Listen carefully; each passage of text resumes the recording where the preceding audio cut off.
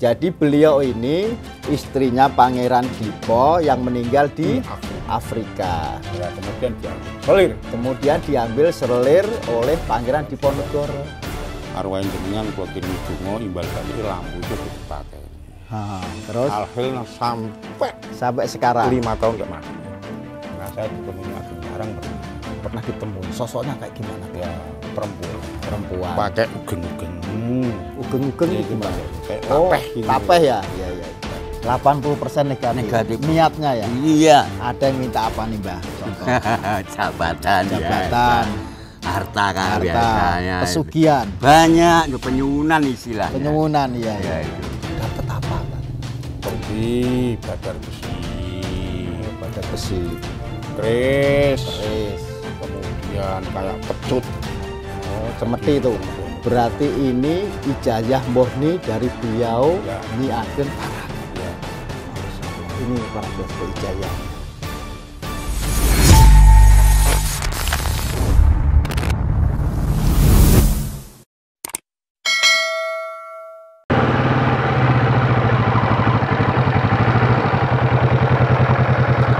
GSP Rono Rene Ijuk.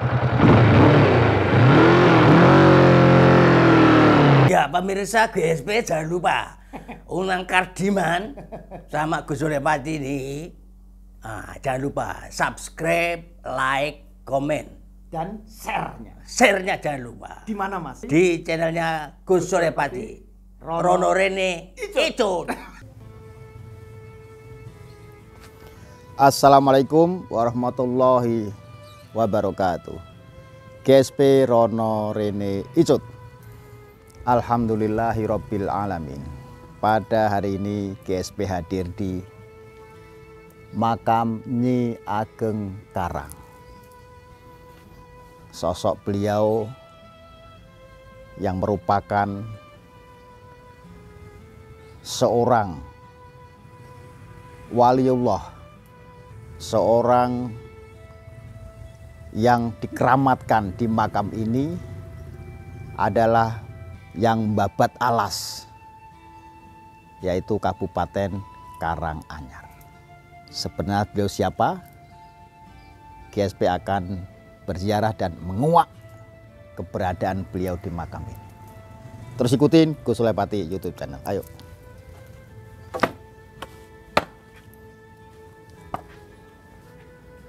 Assalamualaikum.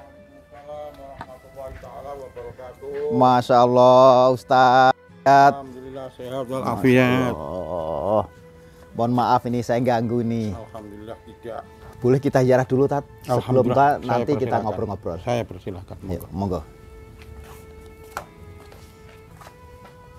Salamullahi ya sadah minar rahmani ya syakum Ibadallahi jinakum qasadnakum talabnakum Tu'inuna tughithuna bihimmatikum wajadawakum Fahyuna wa'atuna atayakum hadayakum. Allahumma salli ala Sayyidina Muhammad. Permisi Tata ya. Monggo, monggo, monggo.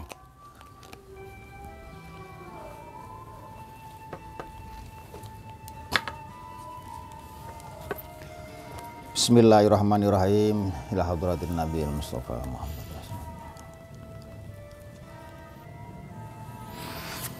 Alhamdulillahirabbil.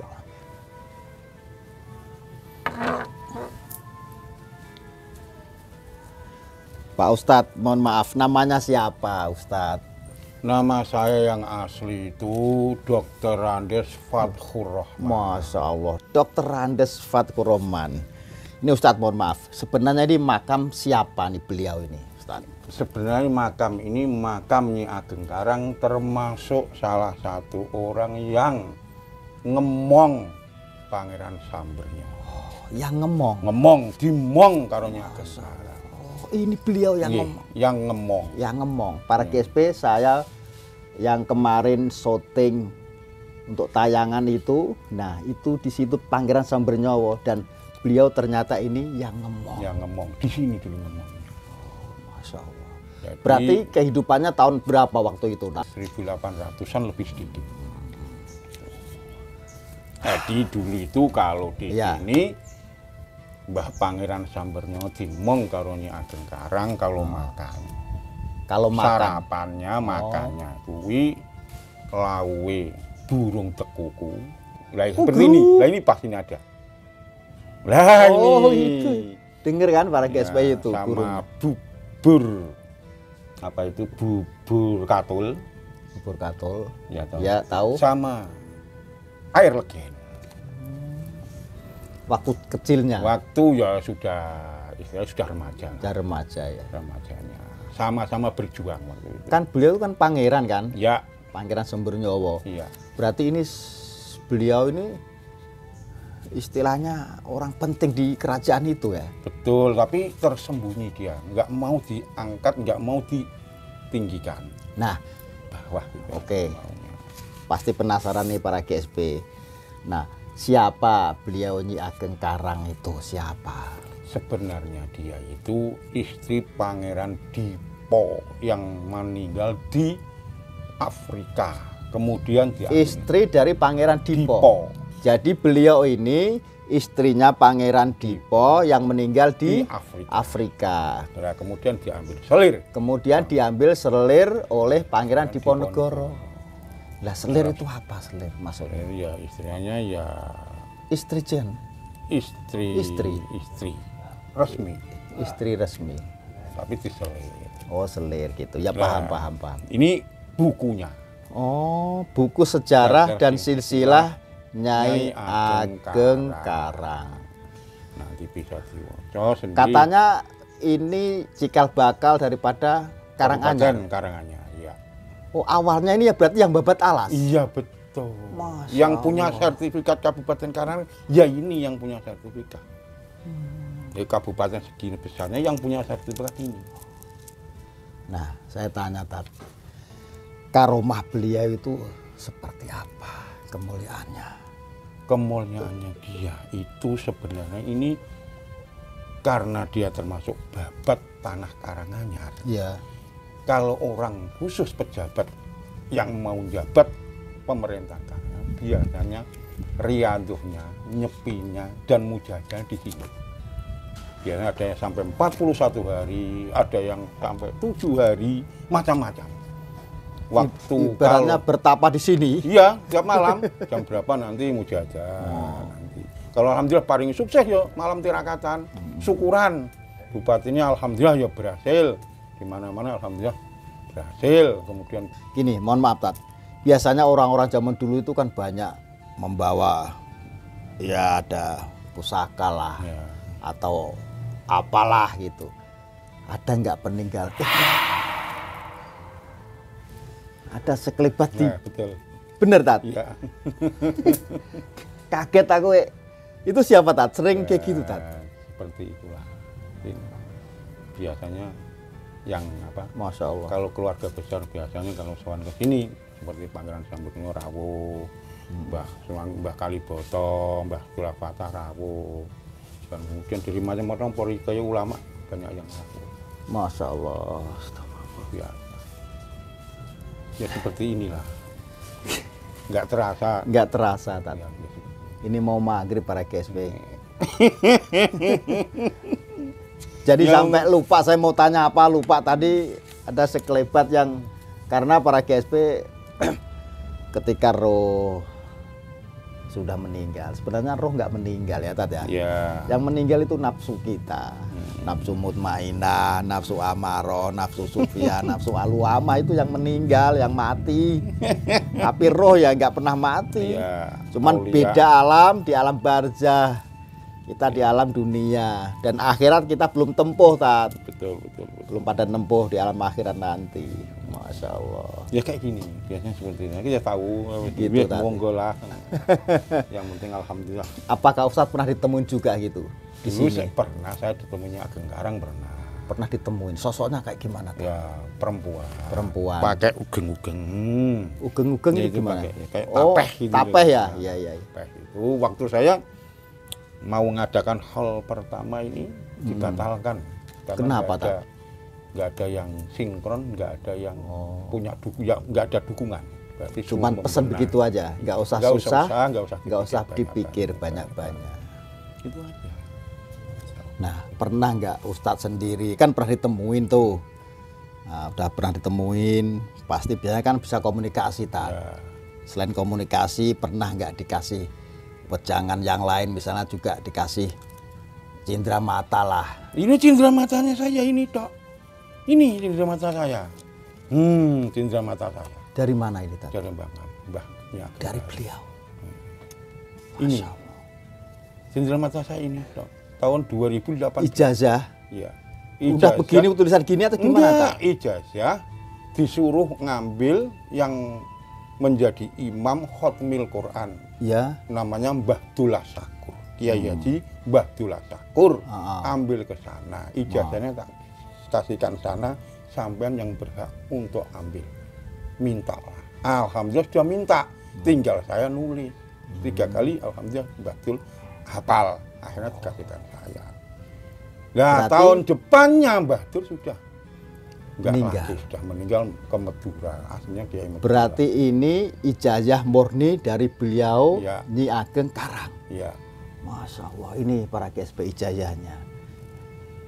Pesen tiga kali ya, langsung ditulis. langsung Ustadz, hafal langsung Badul lah, hafal. Badul yang Oh, dapat Batul yang Badul lah. dapat, saya yang berhak menerima berhak menerima. Tapi intinya ini ijazah Iya. dari beliau. iya Oke, saya baca para GSP ini.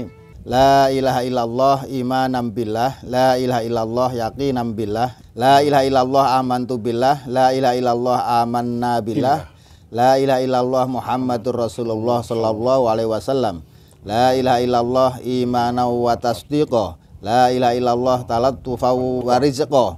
La ilaha illallah al-malikul haqqul mubin Muhammadur Rasulullah sadiqul wa'dil amin. dibaca 41 kali. 41 kali. 41 kali mengendang terus kemudian baca Bismillahirrahmanirrahim. Bismillahi Allahumma ya Allah. Allahumma Bismillahi Allahumma ya Allah. Bismillahi Allahumma ya Allah. Bismillahi Allahumma ya Allah. Empat kali. Empat baru kali. ya Muhammad ya Muhammad ya Muhammad. Itu beliau. Terus dengan niat apa? Monggo Oh, Mari ini ada kandungan rizki Hmm, tufan wariskon Masya Allah. Nih para GSP nih. Kalau pengen ijazah ini, boleh ya ta? ya Diamalkan boleh ya ta ta? boleh Nah, bisa didawamkan, bisa diamalkan ya dengan niat apa pun menjadi hajatnya Ya. kita. Dengan niat apa pun yang menjadi hajatnya. Masya Allah. Saya tanya Ustadz. Nah, ketika dapat ijazah dari beliau ini kapan itu? 2018 ini Hah? ada tulisan Oh ya. ini ada tulisan 2018 Ustadz berarti dapat ijazah dari beliau tanggal 22 bulan 11 2018. Berarti udah empat tahun ya. Subhanallah. Nih kalau para GSP pengen mengamalkan silahkan. Kalau mau ke sini mau ziarah, mau sowan ke beliau, Pak Ustadz, Dr. Anas Fathur Rahman, nggih, silahkan monggo. Masya Allah. ini untuk oleh jenengan ini saya Ini? kasihkan jenengan Oh ini? iya dua-dua Oh dua-duanya Masya Allah Alhamdulillahirrabbilalamin Terima kasih Ustadz ya. Pernah nggak mungkin Ustadz sendiri atau para peziarah atau jamaah yang lain mendapatkan ya cenderamata dari beliau mungkin ada mustika lah atau pusaka atau apa. Pernah nggak ada cerita-cerita itu? Atau mungkin Ustadz sendiri? Teman-teman yang ke sini banyak yang dapat. Dapat apa kan seperti badar besi. Oh, pada besi. Keris. Keris. Kemudian kayak pecut. Oh cemeti itu? cemeti kayak gini. Oh. kemudian cendrik yang gini perempuan itu. Kemudian ada yang satunya lagi ya lafadznya semuanya Allah Iya iya iya. semuanya iya. Allah. Itu ada empat ada lima kalau tidak enam yang dapat itu Habib Hasan bin Zen. Habib Hasan, Hasan bin bin Zen. Dari mana Tat? dari Solo Pasar Kliwon. Itu pas menemukan narik atau gimana atau di dia makam ambil, sini atau ambil di karena banyak barang-barang diambil orang-orang yang tidak berhak digunakan tidak semestinya. Habib Hasan bin Zen tidak berkenan akhirnya diambil Oh, karena gitu. diamankan biar nggak dipakai untuk orang-orang yang neko-neko Oh, itu diamankan ya. diamankan Barangnya ada enggak? ada di Jungke sana ada di cepuk di ada ada kain kafan kain putih Ah, Ustadz, bisa cerita dulu pas Ustadz ke sini pertama itu suasananya seperti apa ini, Tat? serem Serem gimana maksudnya, Tat? Belum bersih seperti ini. Oh. masih suket. Tinggi-tinggi masih. Rumput ya? rumputnya tinggi-tinggi. Masih belum terawat. Ini aja sudah nggak seperti ini. Ini sudah ada kebersihannya ada yang jaga dan lain sebagainya. Kan ada satu listrik yang pojok gini itu saya pasang sampai empat kali mati semua. Terus mati terus. Mana posisi? Oh, itu tuh. Eh, Oh. ini di sini kan ada makamnya Mbah Satar. Orang tua saya kejawen Mana, Tat, makamnya, Tat? pojok sini yang ini. Oh. ini yang ini. Nggak mau dia padang saya kayak gitu. Oh, gitu. Akhirnya buat mati mati saya ya saya bisanya apa? Saya kirim fatihah tujuh kali ayat suci tujuh kali. Terus kulau tujuh kali kulau tujuh kali. Saya minta mbah arwah jenengan kalau kirimi dungo imbal balik lampu itu aja dipakai. Ha, terus? Alhasilnya sampai sampai sekarang lima tahun nggak mati nggak diganti-ganti lampunya. enggak ini terus Masya Allah. ini terus lampunya ini Jadi ada cerita para GSP di sini itu Makam mbah satar ini ini makamnya ya, paling ujung ya. ya mbah satar Ini kejawen ya. ya Kejawen, ini makamnya para GSP sini. Ini sering mati lampu. yang ini tok loh ini tok loh Ini tok yang sering mati ini aja. Yang lain enggak Yang lain enggak. Dan ketika itu Pak Ustadz ini langsung bacakan doa ya Tat ya. ya, Terus ngomong sama beliau ya. ya. Ngomong ke arwahnya jangan mati-mati lampunya Mbah. Ternyata alhamdulillah dengan izin Allah lima tahun lampu ini nggak pernah diganti dan nggak pernah mati. No, keunikan di makam ini di salah satu makam yang ada di Makbarah Nyi Ageng Karang. Nyi Ageng Karang. Masya Allah. Roro Ayu Sulbiah, jangan lupa. Oh namanya. Namanya yang Arabnya Roro Ayu Sulbiah. Berarti nama beliau Hmm. Nyi Ageng Karang itu Roro, Roro Ayu, Ayu Sulbiah. Sulbiah. Masya Arabnya. Arabnya ya. Ada cerita menarik apa nih Tat? Dulu ini kan Ah. ada wit satu tapi sudah tak panu tak babat ini besar dengan Ah, ah. belandong pakai senso. Ada pohon besar, Ya. kenapa di, di itu enggak? Ya, karena sudah mati. Kalau ngebruk gigi ini ambruk, pagar hilang, bisa rusak, rumah bisa rusak. Karena Nah. gedenya bukan main. Alhamdulillah begitu saya tebang, Oh. alhamdulillah gantung orangnya. Gantung Maksudnya gantung tali. gimana? Tali, pakai tali itu kan lepas. Oh, kecelakaan. Ngeng, tapi alhamdulillah selamat nggak ada masalah. Oh. Terus kedua yang itu wet asem itu kalau sudah main saya Asam minta- ini ini. ya yang pojokan ini minta izinnya saya Oh, alhamdulillah ini. juga gantung lagi orangnya Orangnya gantung. gantung lagi jadi pegangan tali tambang Oh, besar itu Tapi selamat juga. alhamdulillah selamat sebenarnya nggak nggak mau tapi alhamdulillah Hmm. para arwah leluhur dengan bagaimanapun Berarti intinya nggak boleh pada ditebangin ya. ya biarin aja Ya. itu kemungkinan seperti itu. Maka terjadi tragedi kecelakaan tapi tidak sampai menimbulkan korban. Alhamdulillah. Oke para GSP saya akan berziarah lagi. Astagfirullahaladzim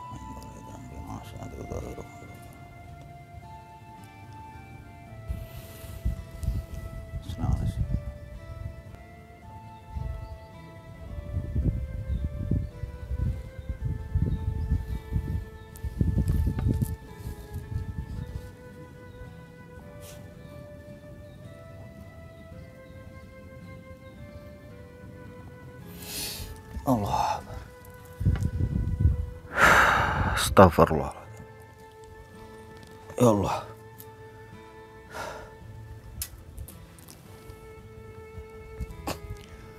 Oke, para GSP ketika saya berziarah saya merasa ya ada sesuatu yang disampaikan kepada kami. Terus perjuangkan nilai-nilai leluhur, tetap berziarah, bersilaturahim kepada orang-orang terdahulu yang babat alas di mana pun. Termasuk ada di setiap daerah itu ada yang babat alas atau yang jadi cikal bakal perlu kita ziarahi, kita doakan. Dan yang kedua yang disampaikan beliau adalah selalu berzikir afdalu dzikri fa'lam annahu la ilaha illallah muhammadur rasulullah. Itu selalu ada di dalam hati ada di dalam perkataan dilafatkan dan juga ada di dalam pikiran itu yang saya dapatkan Assalamualaikum Waalaikumsalam warahmatullahi wabarakatuh. Mohon maaf namanya Bapak siapa? Bapak Sabtono. Bapak atau Sabtono. Mbah Tono. Mbah Tono, Ya. Masya Allah. Mbah Tono sebagai apa di sini? Ya di sini sebagai penjaga. Penjaga. Tahu juru kunci. Masya Allah. Makom Nyi. Karang. Nyi Ya. Karang. Iya iya iya. iya. Kebetulan juga ini eyange Samber Nyowo. Eyangnya Samber Samber Nyowo. Nyowo. Yang di Raden Mas Said mengadil. Oh, Ya, udah ke sana. Ya, udah. Saya. Alhamdulillah. Bahkan ke sana langsung ke sini nih. Ah, ah. Kalau orang ziarah ke sini tuh tujuannya apa? Kebanyakan um 80% itu negatif. Wah, astagfirullah. Banyak kan orang ya Allah ya. 80% negatif. Negatif. Niatnya ya. Iya. Ada yang minta apa nih, Mbah? Contoh. Jabatan, Jabatan. biasa. Harta kan Harta, biasanya pesugihan, banyak penyunan istilahnya penyuwunan iya, ya, iya. itu salahnya di situ Itu Mbah dengar sendiri dia ngomong, "Mbah, saya minta kaya, Mbah. Mbah, saya minta pesugihan, Mbah." Gitu nggih. Aku nih mawon, Mbah. Nggih ngoten nggih. kalau ya ya Ya, ya, ya. gitu. ya karena itu privasi Loh ini syarat-syaratnya apa, Mbah? Kalau minta kekayaan, minta pesugihan Oh, ke sini, Mbah? enggak tahu kalau om kalau jangan om kalau di sini cuma mendoakan Mendoakan. diarahkan seperti doa cuma Oh. Karena ini wali Allah. Dia tuh nyambungnya tinggal doa ke sananya itu dan syukur-syukur ya dari orang beliau-beliau yang mendoakan mendapat berkah. Nah, itu Om. Berarti niatnya udah salah jalan Salah ya. jalan ya. Niatnya berziarah itu mendoakan, eh malah dia minta orang yang meninggal. Ya. Apalagi kita lihat Aduh. ini semacam kijing kok dimintai. Oh. Ap- Mau ngasih apa dong? Lah Bisa iya. ngasih apa? Ngasih kan? apa? nah, di situ itu loh. Nangis saya. Om. Nangis, Mbak. Itu gitu. Ya. Alhamdulillahirabbil alamin. Inilah sedikit cerita di makam Nyi Ageng Karang yang ada di Karang Anyar, Jawa Tengah. Semoga ini menjadi pelajaran buat kita bahwa kita harus senantiasa berdoa kepada leluhur-leluhur kita yang telah mendahului kita. Apalagi itu sosok yang memang babat alas atau menjadi cikal bakal kota-kota tertentu. Terutama di kota Karanganyar ini. Berziarah ada dua, berziarah kepada orang yang meninggal kita mendoakan. Dan berziarah kepada orang yang masih hidup kita minta didoakan. Oke para GSB, jangan lupa selalu berzikir kepada Allah Subhanahu wa taala dan selalu bersolawat kepada Kanjeng Nabi Muhammad Rasulullah Sallallahu alaihi wasallam. Insya Allah keselamatan dan keberkahan menyertai kehidupan kita semua. Terus ikutin Gus Sulepati YouTube channel GSP Rono Rinicut. Terima kasih. Wassalamualaikum warahmatullahi wabarakatuh.